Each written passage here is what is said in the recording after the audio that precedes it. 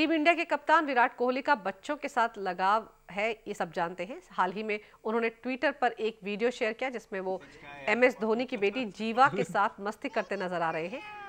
आप भी देखिए कैसे विराट ने जीवा के साथ मस्ती की। कौन क्या? कौन किया क्या आपने किया। जीवा ने किया। जीवा ने किया।